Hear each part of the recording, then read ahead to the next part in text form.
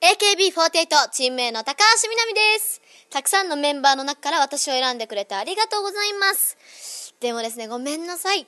えー今日は残念外れでございます。でもですね、私を選んでくれてとても嬉しかったので、特別に私からあなたにプレゼントを差し上げます。